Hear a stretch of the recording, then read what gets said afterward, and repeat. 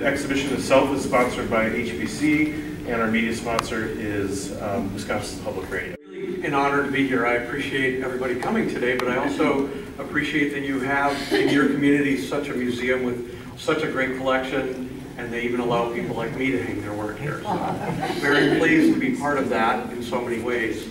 Today is Earth Day, and I want to um, make sure to do a shout out to the Earth, because without it, where would we be? Want to reconnect in so many ways with uh, parts of the Earth and the world, and, and uh, more locally, the Mississippi River, that has always been part of my life. I was born in Minneapolis and lived in four other places along the river. And so uh, being able to follow the river and make a document of it has been um, not only a great challenge, but a great pleasure and a revisiting and discovering new things.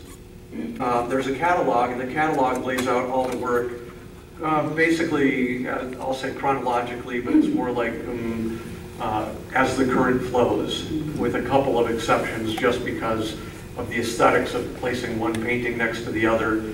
We'll start at the beginning. Uh, oh, but I do want to say what this is not. It's not really a guidebook. It's not meant to be comprehensive in any way. Or my experience of the river is going to be different from anybody else's, just as yours would be different from anybody else's. And so I'm, um, I, there were a lot of things, people had ideas, oh, you really need to paint the Eads Bridge, which is an amazing bridge in St. Louis. And there were various places that people suggested I, I needed to paint, and, and they are awesome, all these places that they mentioned. But um, it, it was always what would strike me when I was in that space and place as to what uh, I might bring to a canvas or what moved me at the moment. And as a friend said at, um, uh, recently, he asked me, how do you choose your painting sites? And I told him, uh, you know, I probably went into a long spiel, but he said, I paint where I can get a parking spot. so, this is a little bit of that, but mostly it's, you know, what moved me. Uh, I will describe, I, if you, um, if people care to, you can go through and look at the work behind me as I speak of it, or I, I think everybody should buy a catalog right now. um, because it does, I mean, it's pretty hard to see, but I'll describe some of these works. Uh, Lake Itasca, where the, the river begins, would be a great place to, um, you know, acknowledge the beginning of the river. It took quite explorers quite a long time to figure out where the river began because, uh, well, I mean, it's all in a way arbitrary because you could say it starts in uh, Montana. Anyway, I thought it would be fun to uh, depict Lake Itasca in a somewhat of a night scene um, because, uh, you know, as it's emerging from the darkness.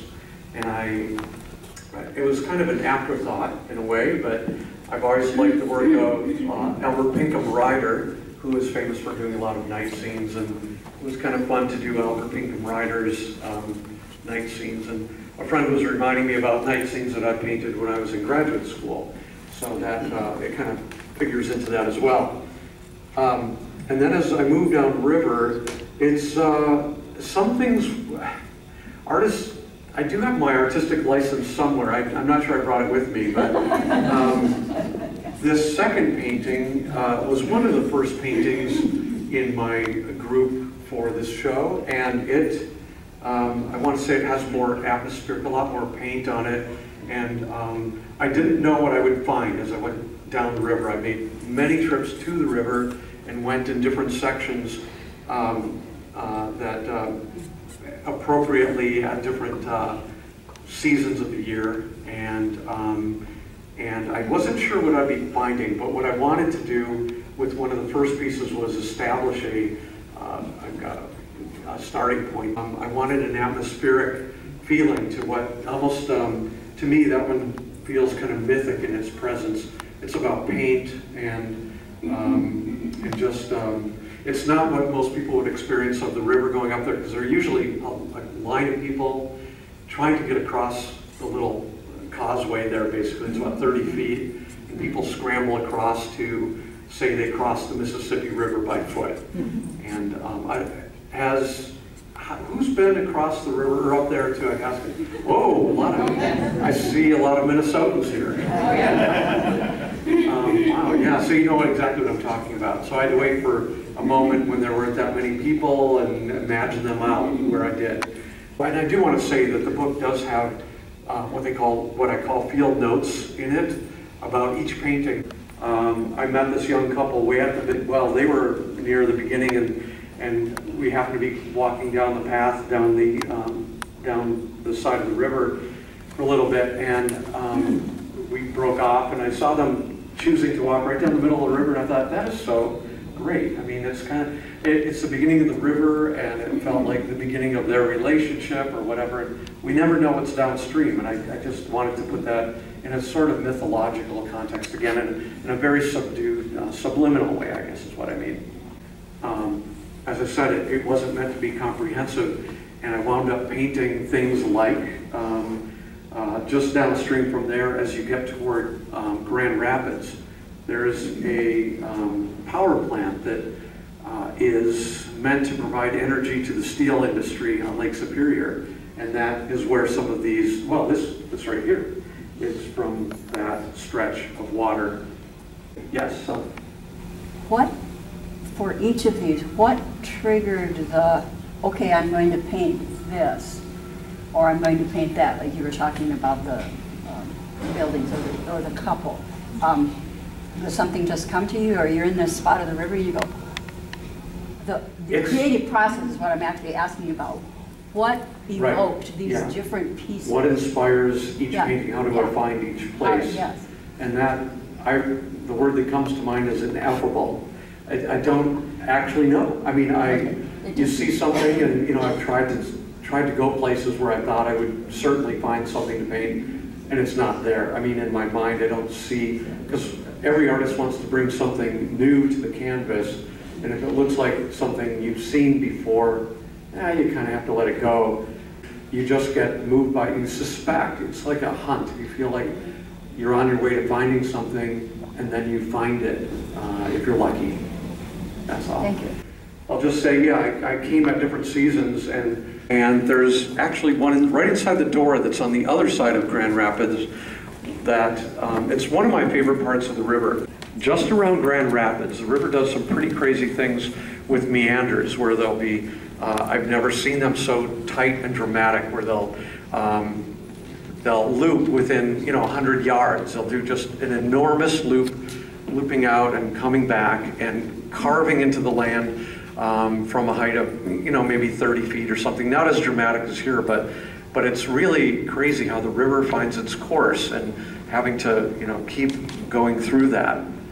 And so um, it, it reminds me of how further south on the river, uh, there are a lot of meanders south of uh, St. Louis where they'll sweep out five miles.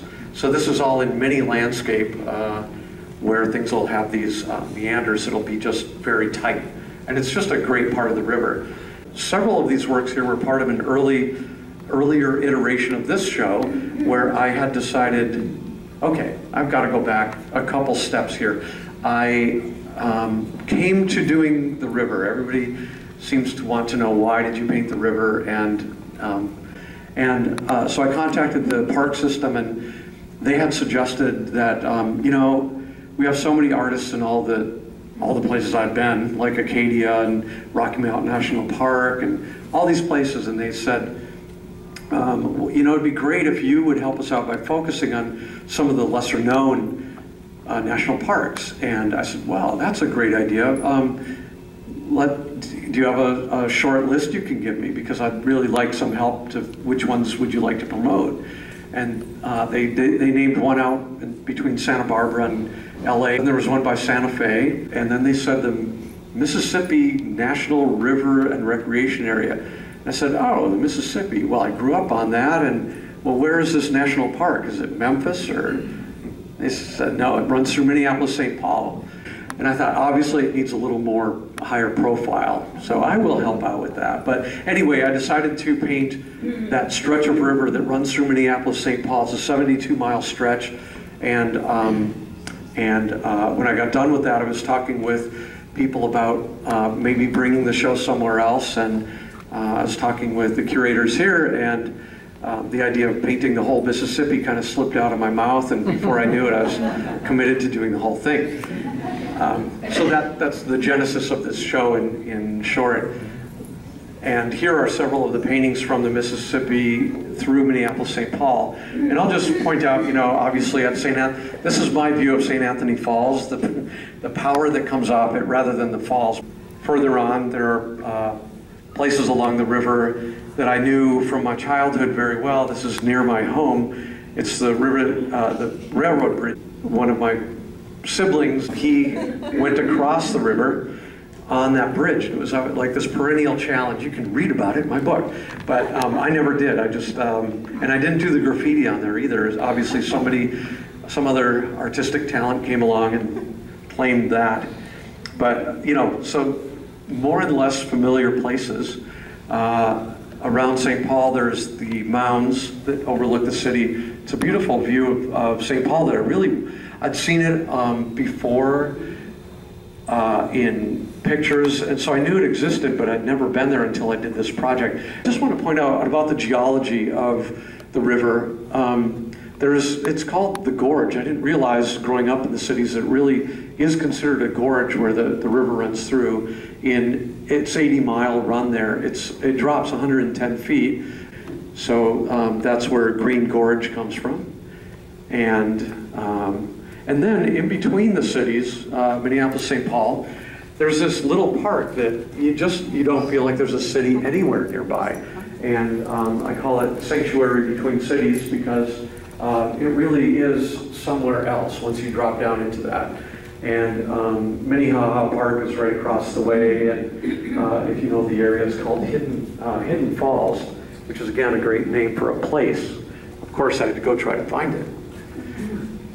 Uh, Color of Time. This is near Hastings, and I just, at the, the reason for the title, and it didn't really look quite like that at all when I was there, but there is a moment when you just see things in ways you really hadn't seen them before.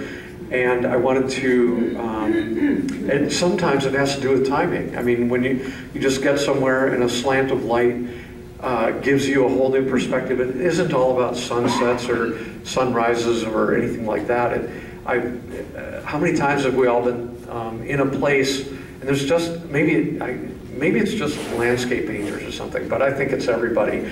But I get somewhere and it, it's a totally different place. I know I'd never been before, but there's a slant of light or just the the time of day and just the atmosphere or something, and you're drawn back to something and I think this is what that painting is a little bit about. And then here, I was trying to get to, there are, I think, eight reactors and three or four different facilities on the Mississippi River that are um, nuclear power plants. And it's part of our lives. It's, uh, it's not far upstream here where uh, three mile, three mile, I live near three mile of that. But um, yeah, Prairie Island. And um, it's actually hard to get to. They don't really like to have people on their premises very much. So I painted the screen of trees. It was kind of keeping me away from that. And I was, um, as it points out in the book, and I don't mean to be too redundant for anybody who's read it, but the, um, the trees reminded me that there is, uh, you know, all this energy being captured every day all around us by solar mechanisms uh, in photosynthesis. And um, it's an interesting, um, not conundrum, but juxtaposition between those two uh, ways of capturing or creating energy. Mm. And it, kind of an afterthought in a way, but that whole screen keeping us away from um, that was interesting to me, the nuclear reactor. Mm. And then, then we're getting nearby. This is uh, just over the bridge from Winona. Uh, and it, it's called Backwater Glow. And I guess I wanted to uh, do one painting at least that was just water and trees. Uh, that was the one thing when I started out uh, on this project. I wasn't sure. I knew, having lived on various places on the river, that um, there's a lot to see, and there really is far more to paint than you possibly could ever do. But um, I wanted to do one that really was just water and, and trees, and I was afraid that that's what the whole show would be. So um, frankly, I was very pleased in the end to see that there were so many different environments and places and scenarios to paint. How do you pick your color? Like, let's just say that water is reddish, you know, why? Uh, Well, people who visit my studio are often shocked at what happens underneath the painting. There, um, you'll see it, actually, in this one a bit. It shows up more in some of the thinner paintings, but they're underpainted with colors that are more or less arbitrary, usually incredibly bright and very different from what you'd expect. And it just is a way of um, um, approaching, I, being a landscape painter, if I started out with green for the trees and blue for the sky, you know, you have to see things anew. And so I start out with things as new as possible, and it sometimes just ends up being very colorful and very different right on the surface. But I start out with a very different color to begin with. And this might have been deep red, magenta underneath in the water. I don't even know. I mean, it just, it's hard to say, but once- in a while I see a little glimpse of that underneath the paint. The bluffs near Alma, I found that place quite fascinating in many ways.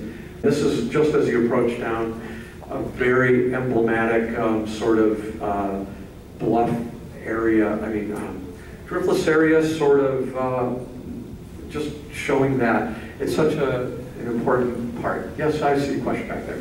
You paint from uh, what you've sketched out there, or do you paint from photographs? Well, I mostly take a lot of photographs. I'm a really horrible photographer, and so I need to paint. Um, and, and uh, but I'll do sketches and those little gouaches I was talking about. They're um, small studies, but I again, even those I may start on site, but everything gets done in my studio.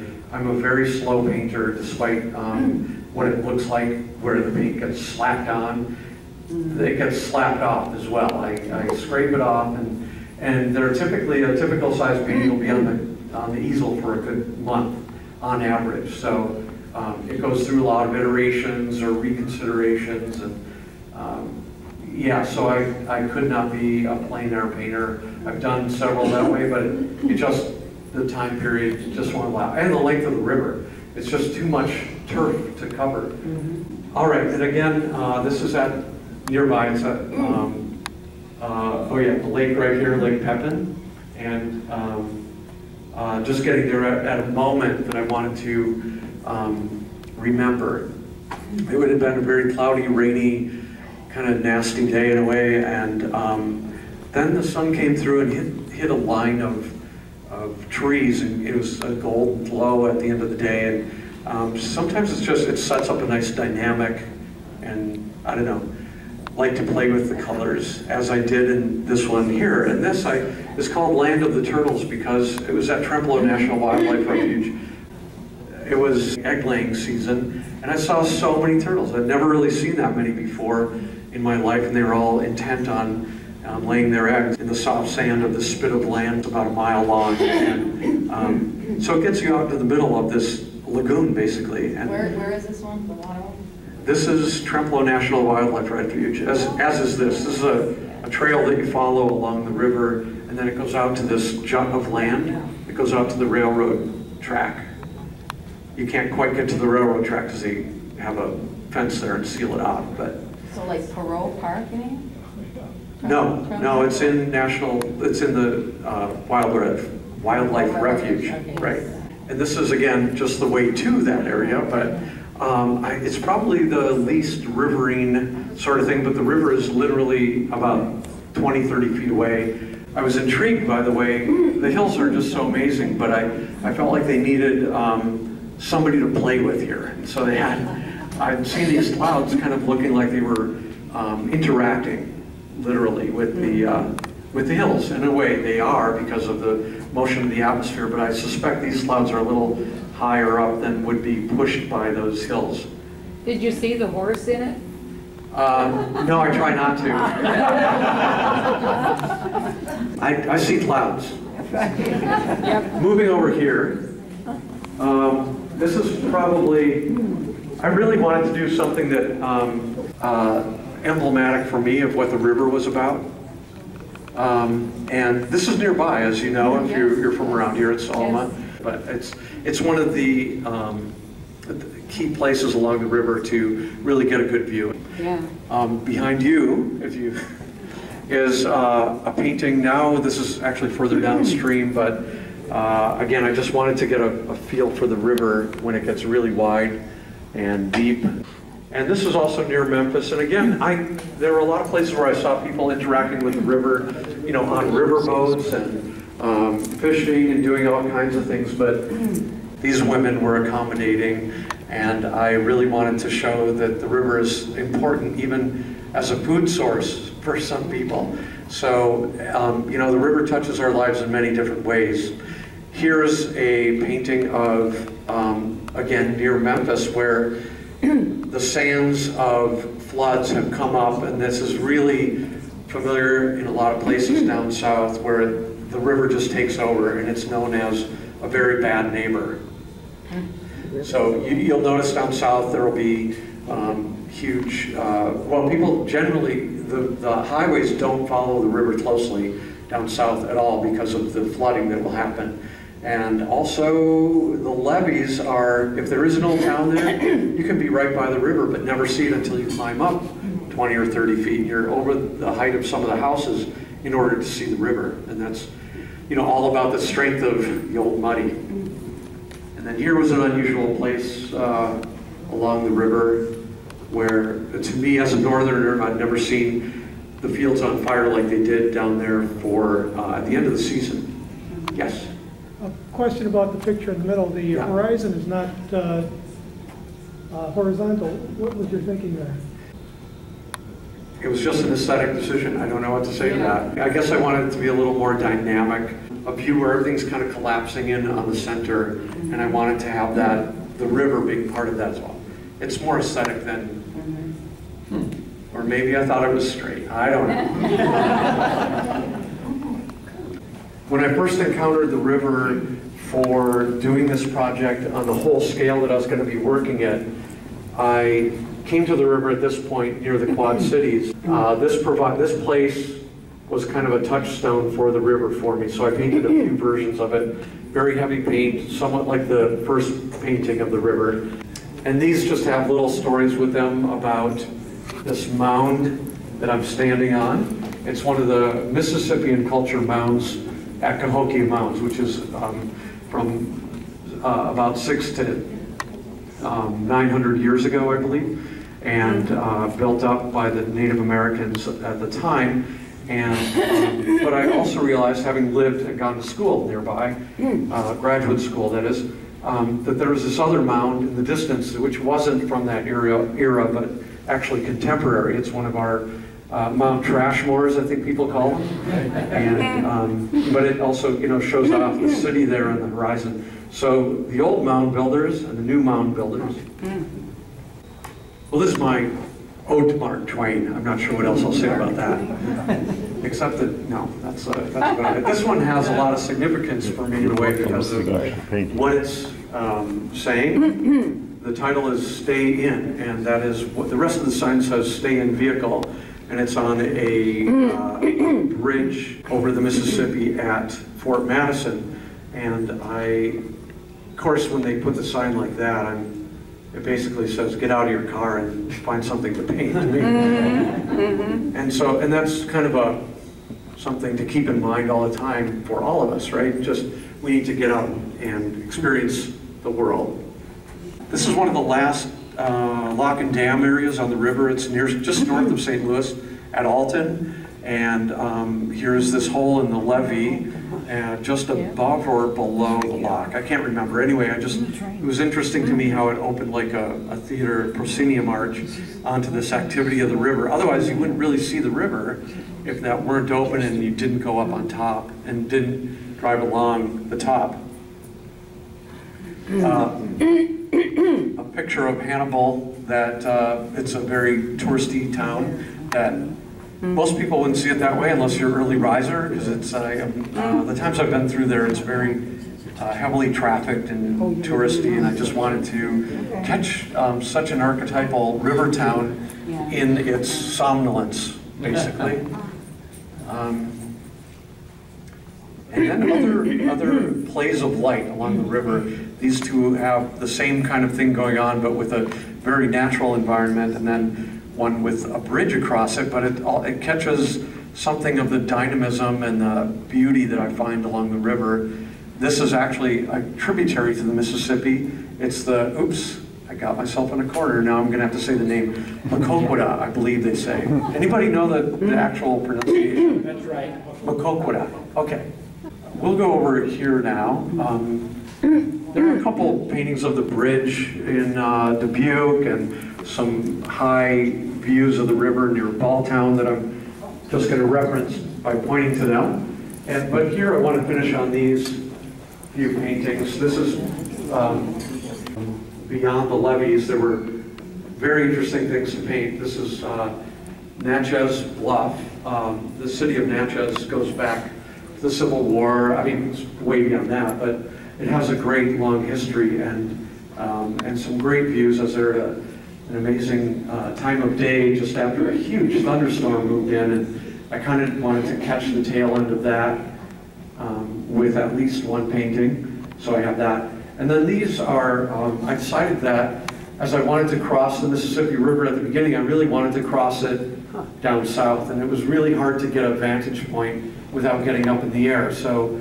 I linked up with this wonderful pilot who is very happy to bring an artist up in the sky and uh, take a look down. And these are, this is near, this is, this is my view of New Orleans the day before Mardi Gras, so I don't know what you'd call that Monday. Um, And this is the very end of the delta. This is actually the Gulf kind of coming in out here, but I was intrigued by these. It looked like some kind of, um, some aliens had come in and left a message, like some kind of script that I wasn't, that I could almost in a way too easily read. It- There's something going on here, and it looks like global warming, water rising, but it's actually probably a little bit of that, but more of that, um, because the silt doesn't come down the river, it isn't able to spread out across the delta. And, and then a typical kind of meandering area down there, just, it's fascinating. I love seeing that sort of thing. Topography and um, uh, topographic maps are so intriguing to me. And um, that's a little bit of an ode to being able to see things in that more abstracted kind of way. And I was going to give a story about a pie shop, but it's gone. Maybe it'll come back. This one is named Palimpsest. Is that a name you just made up? No, it's a, it's a word, uh, palimpsest is, it's a word for, actually would have been appropriate back there as well. It, it refers to things underneath the surface Uh-huh. and showing up. Okay. Like if, uh, you know, if you were a detective and somebody had written something on a pad of paper and wandered away, the, the palimpsest would be Oh. underneath, more often raised than embossed, but there's like a trace of something that had been there before. It's like runways. Yeah, actually, these were created canals that I'm not sure why they had to race across in so many different ways. I don't know if it was fishing, shrimping, uh, you know, cargo, really strange, but they had these little barriers across. Oh, yeah. I'm not sure. I'd like to know more about that. Well, I do know the story about the pie shop. It's short, and I wanted to start off with it to say that also along the river, it isn't just landscapes, but it's people and places and things that people do there. And I happened into the town of Bellevue, Iowa, on the day that this pie shop opened. And I, um, I was very lucky because I love pie, and um, it, they, I get, they, it was a woman running the shop with her three kids there, and they were all, it was so great because I, um, I remember handing her the money and she handing it back, and the, the pie back with a big smile, her kids were looking in awe. My mom got money for a piece of pie. It was so cool. I just really liked being part of that. And, um, and the pie was great too. But it reminds me of all the things that you can find along the river, all these different unique little places. And, but in a way, and this is where I wanted to come back to in the end, was that uh, I've been back trying to relocate that and it's already gone. So like the river itself, you know, you can never step in twice in that moment of light and our lives and everything about just the experience of being here or there or anywhere. It's just, it's really, it's kind of a, a symbol for that for me, that pie shop. I always remember it and it was an important part of the river that no longer exists. So if anybody has any more questions, I'm open to that, or you can find me, I'll be here for a little bit still, but yes, a I'm just question? curious if you were- have ever been informed when you're younger from um, Mark Twain or Sam, like Life on the Mississippi, or, it's kind of like the way you sound and all the changes, and I mean, it's very interesting. Oh, Well, Lyrical. I'll have to read back. One last quickie is, Yes. have you ever uh, looked at Constable's work? oh, yeah. Because your clouds remind me of Constable quite a lot, I have to say. Well, thank you. Yeah. Beautiful It's, uh, stuff. yeah, he's uh, an early painter of cloudscapes, I mean, it was about clouds mostly. Yeah, so, yeah. yeah.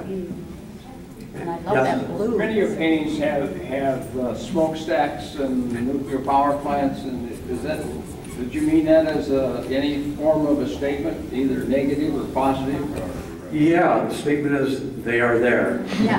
I mean, it's really just a part of the river in our lives, and, you know, whether we want them there or not, we need them there now, and I- I'm an environmentalist, but I'm also a realist, that this is just where we are right now, and it'd be great if it was all solar panels Yeah. until we trip on all of those, and who knows what. reality, too. Yeah. But, and, and I think, you know, I wanted to do a nuclear, I wanted to go out of my way for the nuclear power plant, but the other ones are more accidental, it's like, like I stumble into them, and they change the environment so much I want, in a visual aesthetic way, I just wanted to record that. It's part of Yeah. the story. When you do your paintings, do you um, do them live or do you always take a picture of them? Well, I could not do these live, as you say, on plein air, as they say, I mean, just painting on site, because I spend so much time on them that um, I've realized that I'm good, you know, the light is good for usually maybe an hour before it shifts, and like I said, these get contemplated for at least a month on, on average, and sometimes it's years before I'm- I feel like I'm done with them. So it would just be counterproductive. I'm curious about the nuts and bolts of the collection. Is this the first show? This is the first showing of this exhibition. And exhibition. then they will all travel together for how many years? Um, What's their future? the- Will they be sold? Yeah, it'll, the show continues on to Watermark Art Center up in Bemidji near the, uh, the source of the Mississippi, and then it goes down to Dubuque, Iowa, the Dubuque Museum of Art. Your, your national park uh, uh, do you, where do you see examples of those? We've enjoyed all three of the parks your residents at. They're not in one collection anywhere. I do, if you email me, I can send you photographs of them or something, but, um, uh, where? that- Yeah, it's a diverse collection, and a lot of those were plein air paintings. I did them on site. So Yosemite and Acadia National Park and Rocky Mountain National Park.